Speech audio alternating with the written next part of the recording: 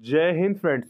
तो हम आपके लिए लेकर आए हैं बीएससी फिफ्थ सेमेस्टर का एग्जामिनेशन 2023 का मैथमेटिक्स का क्वेश्चन पेपर अगर आप बीएससी थर्ड ईयर में हैं और फिफ्थ सेमेस्टर के स्टूडेंट हैं और अगर आप मैथ्स का क्वेश्चन पेपर देने जा रहे हैं तो ये क्वेश्चन पेपर आपके लिए इंपॉर्टेंट है। यहाँ पर हम आपके लिए मैथमेटिक्स का differential geometry and tensor analysis का क्वेश्चन पेपर लेकर आए हैं, जो आपकी 2023-24 परीक्षा में पूछा जाने वाला है। ये क्वेश्चन पेपर आपकी एग्ज़ाम के लिए इंपॉर्टेंट है। इतने जितने भी क्वेश्चन है, आपकी एग्ज़ाम की दृष्टि से बहुत महत्वपूर्ण हैं। तो एक एक क्वेश्चन को आपको अच्छे से देखना है और इन क्वेश्चन की आपको प्रैक्टिस करना है। तो हम आपके लिए लेकर आए हैं ऐसा वीडियो तो अगर आपने अभी तक चैनल को सब्सक्राइब नहीं किया है तो चैनल को सब्सक्राइब कर लीजिए। आपको यहाँ पर सभी फिफ्थ सेमेस्टर के सभी क्वेश्चन पेपर मिल जाएँगे, जो आपकी एग्ज़ाम के लिए इंपॉर्टेंट होंगे। तो एक एक क्वेश्चन को हम लोग ए टू जेड देखेंगे, कितने क्वेश्चन आपसे पूछे जाते हैं, क्या पैटर्न रहेगा।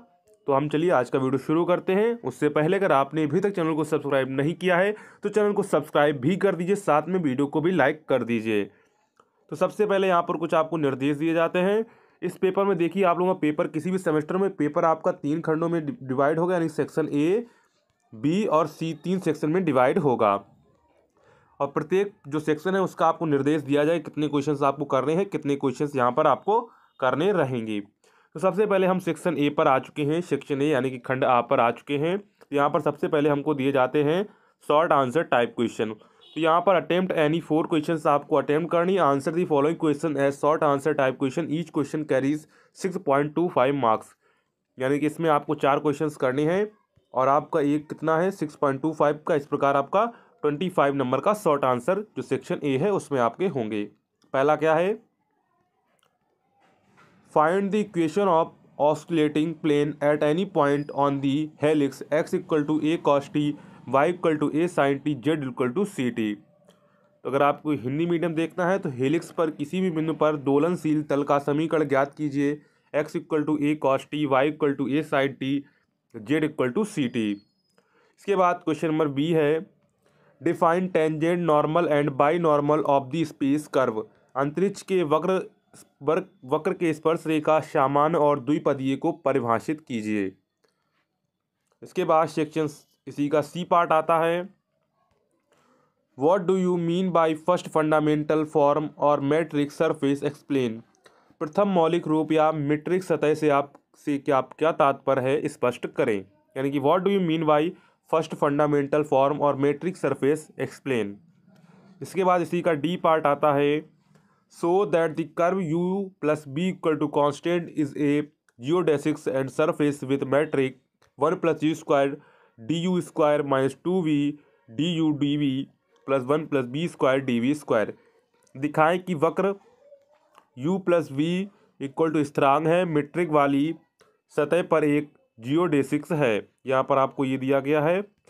One plus u square d square minus t u v d u d v plus one plus b square d v square. इसके बाद इसी का ई पार्ट है, अभी ये आपका सेक्शन ए ही चल रहा है, इसमें आपको टोटल छः क्वेश्चंस दिए जाएँगे, उसमें से आपको टोटल चार क्वेश्चन सॉल्व करने होंगे। Give the statement of Gauss Bonnet theorem explain with it an example यानी कि गॉस बोनेट के प्रमेय का विवरण दीजिए, इसे उदाहरण सहित समझाइए। और इसी का क्वेश्चन है नेक्स्ट टेंसर को परिभाषित करें और इसकी तुलना वेक्टर से करें। यानी कि सबसे पहले आपको बताना है, टेंसर को परिभाषित करना है इसके बाद इसकी तुलना आपको वेक्टर से करनी है। इसके बाद चलते हैं, इसी का जी क्वेश्चन आ जाता है। Explain Christoffel symbol of first kind and second kind. यानी कि प्रथम प्रकार एवं द्वितीय प्रकार के क्रिस्टोफेल की व्याख्या कीजिए। इसी के बाद एच पार्ट है find the gradient of phi x comma y comma z equal to x square y plus y square z plus z square x यहाँ पर आपको दिख जाएगा phi x comma y comma z equal to x square y plus y square z plus z square x की प्रवणता ज्ञात करें। इसके बाद इसी का आई है। What is difference of Riemannian space and Euclidean space यानी कि रिमेनियन स्पेस और यूक्लिडियन स्पेस में क्या अंतर है? तो यहाँ पर आई सेक्शन तक आपको ये क्वेश्चंस दिए गए हैं। इन क्वेश्चंस में आपको ओनली चार क्वेश्चंस करने हैं और आपका एक question six point two five marks का है। तो इस प्रकार सेक्शन ए आपका पच्चीस नंबर का हो जाता है। कितने नंबर का? पच्चीस नंबर का आपका सेक्शन ए हो जाता है। इसके बाद सेक्शन बी पर चलते हैं।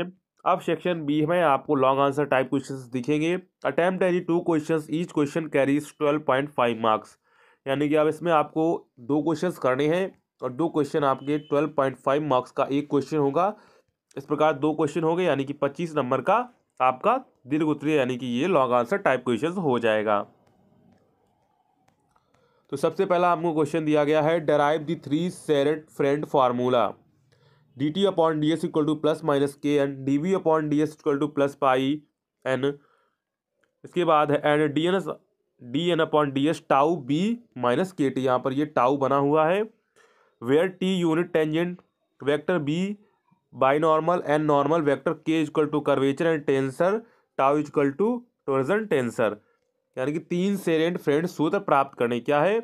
तीन सेरेंट सूत्र प्राप्त करें, ये आपको यहाँ पर दिया गया है, इसको आपको शुद्ध करना रहेगा। जहाँ पर आपको बेली द्विगी टी इक्वल टू स्पर्श रेख, स्पर्श रेखा वेक्टर यूनिट बी द्विसामान एन सामान्य वेक्टर के वक्रता कार्यकाल टी आघूर्ण कार्यकाल तो यहाँ पर ये आपको सिद्ध करना रहेगा। इसके बाद देखते हैं क्वेश्चन नंबर थ्री है। क्वेश्चन नंबर थ्री क्या कह रहा है? Explain the geometrical interpretation of the second fundamental form. L d u square plus M d u d v plus N d v square with proof Hindi में देख लेते हैं, द्वितीय मौलिक स्वरूप L d u square plus two M d u d v plus N d v square की ज्यामितीय व्याख्या प्रमाण सहित करें। इसमें हमारे दो क्वेश्चन हो चुके हैं। इसके बाद नेक्स्ट है state and prove Euler's theorem यानी कि यूलर के प्रमेय का उल्लेख करते हुए सिद्ध कीजिए। क्या कह रहा है? यूलर के प्रमो, प्रमेय का उल्लेख करते हुए सिद्ध करना, यानी कि यूलर की जो प्रमेय है, उसे आपको प्रूफ करना होगा। क्या करना होगा? उसे आपको यहाँ पर प्रूफ करना होगा। इसके बाद सेक्शन सी आ जाता है। यहाँ पर आपको वन टू थ्री क्वेश्चंस आपको यहाँ पर दिए गए हैं। तीन क्वेश्चंस में से आपको दो क्वेश्चंस करने हैं। कितने करने हैं? दो क्वेश्चंस आपको इसमें करने रहेंगे। इसके बाद सेक्शन सी आ जाता है। तो सेक्शन सी में आपको खंड शामिल लॉन्ग आंसर टाइप क्वेश्चन हैं। यहाँ पर भी आपको दो क्वेश्चंस करने रहेंगे और एक क्वेश्चन आपका ट्वेल्व पॉइंट फाइव मार्क्स का होगा। इस प्रकार पच्चीस मार्क्स का आपका ये हो जाता है। तो यहाँ पर है, किन्हीं दो प्रश्नों के उत्तर दें? प्रत्येक प्रश्न साढ़े बारह अंकों का है। कितने अंकों का है? साढ़े बारह, यानी कि ट्वेल्व पॉइंट फाइव मार्क्स का है। तो सेक्शन जो आपका सी है, वो भी पच्चीस मार्क्स का हो जाता है। पहला इसी में क्वेश्चन है, question number five state and power question law of tensors यानी टेंसर के भागफल के नियम का उल्लेख और सिद्ध करें, क्या है? टेंसर के भागफल के नियम का उल्लेख और सिद्ध करें। नेक्स्ट है prove whether Christoffel symbols of first and second kind are tensor quantity प्रथम एवं द्वितीय तरह के क्रिस्टोफेल प्रतीक टेंसर मात्रा है, सिद्ध करें। इसके बाद क्वेश्चन नंबर सेवन है। लेट ए की power i z is skew symmetric tensor then divergence of a i की पावर जेड ए की आई जेड देन आपको यहाँ पर डी आई वी ए की power i z equal to a की power i j i upon i j plus one upon root g x की power i under root g a की power आई जे यदि ए आई जे तिरछा सम्मित matrix है, तब आपको ए आई जे कामा ए आई जे का विचलन होगा। ये आपको यहाँ पर इसे सिद्ध करना होगा। क्या करना होगा? इसे आपको प्रूफ करना होगा। इसके बाद इसी का क्वेश्चन नंबर एट आ जाता है। क्वेश्चन नंबर एट क्या कह रहा है? So that the geodesics in E three the three dimensional space with orthogonal Cartesian coordinate are straight lines यानी कि क्या है? दिखाएँ। कि ऑर्थोगोनल कार्टेशियन निर्देशांक के ई थ्री में भूगर्भिक त्रिआयामी स्थान सीधी रेखाएँ हैं।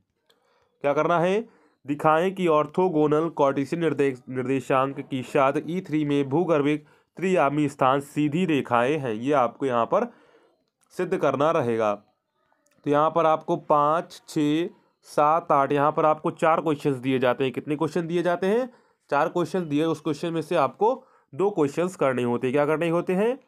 चार क्वेश्चंस आपको यहाँ पर दिए जाते हैं और चार क्वेश्चंस में से आपको यहाँ पर दो क्वेश्चंस को सॉल्व करना होता है। इसके मिलते हैं आपको पच्चीस नंबर कितने मिलते हैं? पच्चीस नंबर। इसी प्रकार सेक्शन बी में आपको तीन क्वेश्चंस दिए जाते हैं। उनमें से आपको दो क्वेश्चन सॉल्व करने होते हैं और इसके आपको मिलते हैं कितने नंबर मिलते हैं? इसके आपको मिलते हैं पच्चीस नंबर। तो पच्चीस पच्चीस आपके पचास हो गए। इसके बाद सेक्शन ए आता है जिसमें आपको छः से सात क्वेश्चंस दिए जाते हैं। उनमें से आपको ओनली कितने करने होते हैं? ओनली आपको चार क्वेश्चंस करने होते हैं। और इसके मिलते हैं आपको पच्चीस नंबर। कितने मिलते हैं? इसके मिलते हैं आपको पच्चीस नंबर। तो पच्चीस प्लस पच्चीस प्लस पच्चीस इक्वल हो गया आपके पचहत्तर नंबर का। इस प्रकार ये पचहत्तर नंबर का आपका क्वेश्चन पेपर हो जाता है। तो चलिए, अगर आपको ये जानकारी पसंद आई हो वीडियो पसंद आया हो तो चैनल को सब्सक्राइब करना ना भूलिएगा। साथ में अगर आप इसकी पीडीएफ डाउनलोड करना चाहते हैं तो लिंक आपको डिस्क्रिप्शन में दी गई है तो वहाँ से आप लोग डाउनलोड कर सकते हैं, या फिर हिंदुस्तान ऑनली डॉट कॉम पर विज़िट करके आप लोग इसकी पीडीएफ डाउनलोड कर सकते हैं। तो चलिए मिलते हैं नेक्स्ट वीडियो में। वीडियो पसंद आया हो तो सब्सक्राइब ज़रूर करिएगा। मिलते हैं नेक्स्ट वीडियो में, तब तक के लिए जय हिंद।